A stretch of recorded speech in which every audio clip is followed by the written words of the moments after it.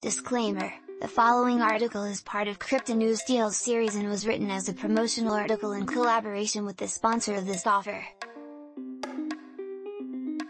If your company has an exclusive promotion that you would like to share with our readers, we invite you to reach out to us. Let's build together! Do you have crypto lying about that you don't know what to do with?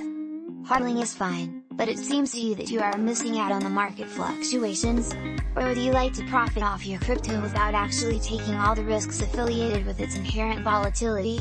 Yield accounts are the solution for you, and luckily, derivative trading platform PrimeXBT, through its copy trading platform Covesting, has launched their own Covesting yield accounts, which are already live.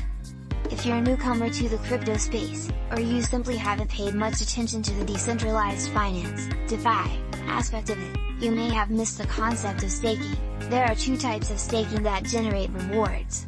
In the first, users lock up a certain amount of funds within a blockchain ecosystem, which in theory lets them make decisions within that ecosystem and receive rewards in return. However, most ecosystems have a relatively high threshold for when you can become a validator, or decision maker, so you can stake your funds in someone else's name, making them the validator and yourself the delegator.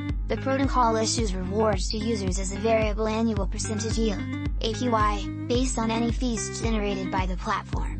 The APY will depend on market conditions like demand, trading volume, and general market volatility.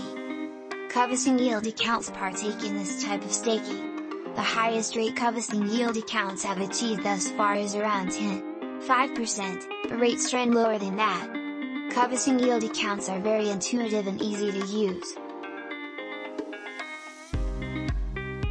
platform now has a yield account tab on its dashboard, which automatically displays the current estimated rates, while users can prepare a more specific expected rate of return using the calculator tool.